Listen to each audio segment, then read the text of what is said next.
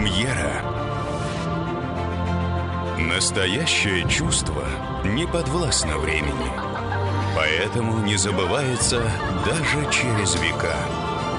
История великой любви.